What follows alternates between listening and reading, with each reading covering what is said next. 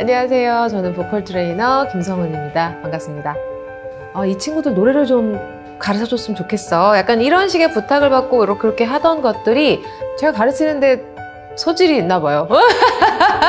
가르쳤는데 좋아진 거야. 제일 처음에 그렇게 시작을 했어요. 제 앨범을 준비하다가. 방탄에 세 명도 있고요. 진이랑 정국이랑 태형이가 V.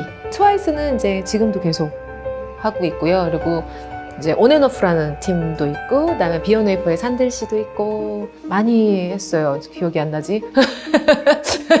어떤 친구들을 이렇게 한 명 한 명 한 명 떠올리면 사실 하나하나가 다 기억에 다 나요. 다 소중하고 방탄의 진이 같은 경우는 이 에피소드는 제가 그냥 가끔 가다가 얘기했었었는데 이제 저랑 그 수업 때 연습생 때 진짜 꼬꼬마 때 했던 거를 데뷔하고 나서 한참 뒤에 한 세 번째 앨범인가 나왔을 때 쌤요 그러더니 갑자기 뜬금없이 새벽에 불러서 녹음을 해서 보내주더라고요. 이거 들어봐요 이러면서 너무 감동했어요.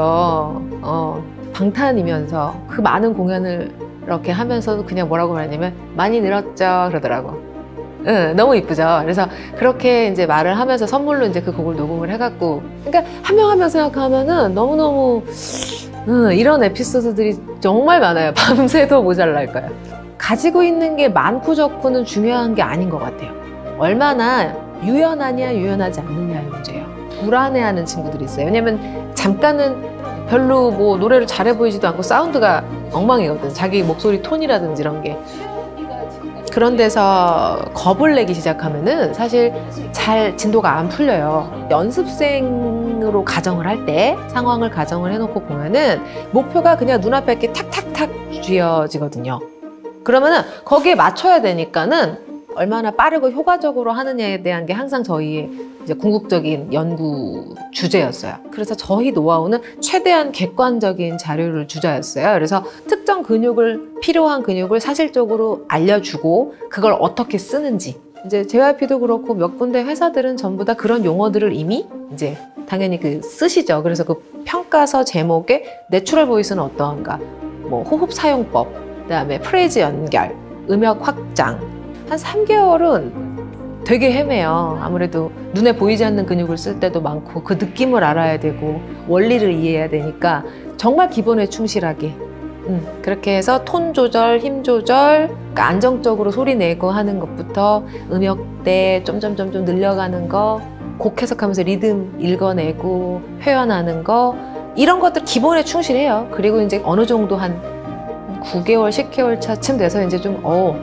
그때부터 보여요, 이제. 뭐해 라는 두 글자에 네가 보고 싶어 나 속마음을 담아 우 이제 멜로디를 빼는 거야. 빼고 하나 둘 셋 뭐해 라는 두 글자에 내가 보고 싶어 내 속마음을 쿵 담아 우 이런 식으로 숨 쉬 고 들어가고 나오고 들어가고 하는 기도를 쓰면 돼요. 기도. 입으로 왔다리 갔다리 하는 공기를 조금 자제시켜주면 여기가 활성화가 돼요.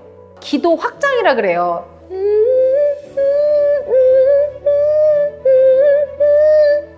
제가 늘리죠. 확장을 했고 그 유명한 아랫배 힘. 힘을 조절하는 이쪽 공간과 멜로디를 조절하는 이쪽 기도 공간이 연결되면서 그게 가능해져요. 타고난 재능 그리고 노력. 어, 저희가 만나는 애기들, 연습생 애기들이 그래봤자 중학생이래요. 뭐 얼마나 타고났겠어. 사실 그렇잖아요. 굉장히 어렸을 때부터 이제 이런 시스템 안에 들어가거든요. 그러니까 사실상 타고난 아이들은 진짜 얼마 안 돼요. 그러면 그 상황에서 그러니까 체계적으로 학습을 얼마나 잘하는 게 되게 중요하고 얼마나 많이 노력하느냐가 되게 중요한 거죠. 공감하는 거 이것까지는 저희가 못 가르치죠. 감수성이라고 하죠.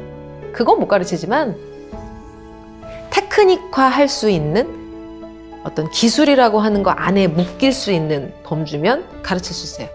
예술의 영역으로서의 노래는 좀 복잡한 것 같아. 어, 그래서 어느 기술 하나를 가지고 이거를 잘한다, 못한다 라고 얘기하기는 조금 너무 이제 좁은 것 같아.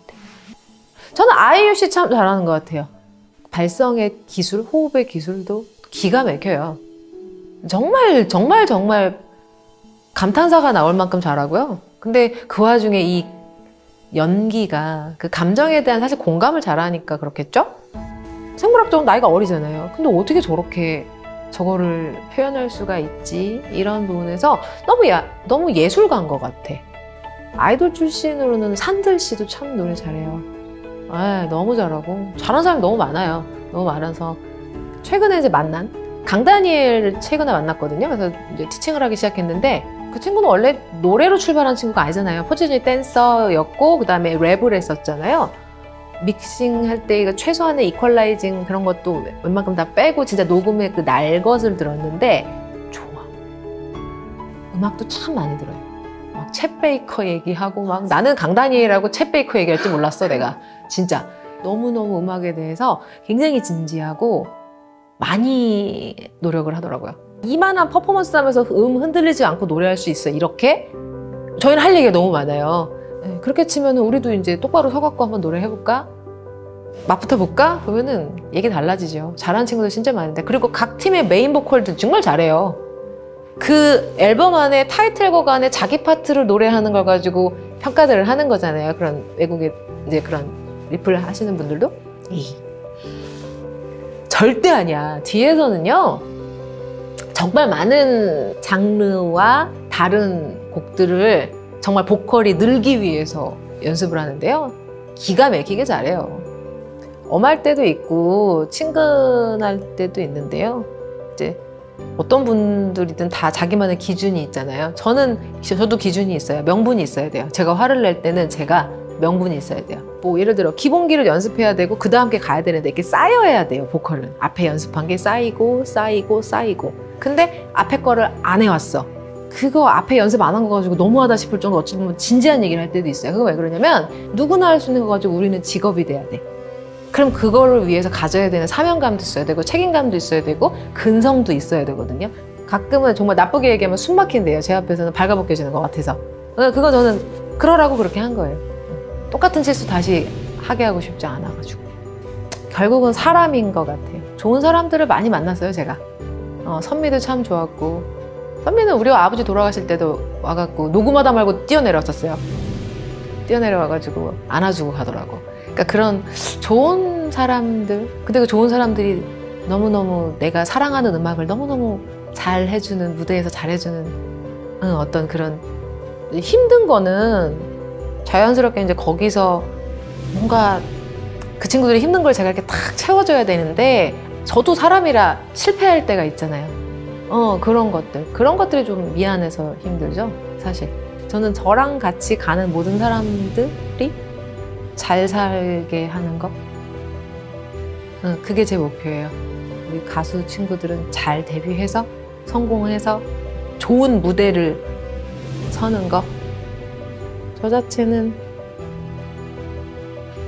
노래를 배우고 싶어요. 노래를 배우고 싶어요. 지금은 그 노래가 순수하게 제 취미였으면 좋겠다는 생각을 해요. 다시. 그게 제 꿈이라면 네, 꿈이에요. 노래 한 번만 불러보고 이제 네. 아, 이 방식대로요? 제가 적용, 적응, 그러니까 적용이 적용을 될지 할수 모르겠네요. 있을까? 네. 걱정이다 진짜. 네. 네가 보고 싶어 나의 맘에 담아 우 모티콘한 하늘 속에 쭉 둘, 둘, 셋. 우리 네모가는 불 이렇게 크게 열어. 맞아요. 그렇지. 더 크게 열어. 더 와와와와와 이런 식으로 열어주는. 소리가 다르네요 진짜 응 응 응. 우리 네모가는 불더 많이 움직여. 많이 열어. 엄지 손가락으로 장미꽃을 피워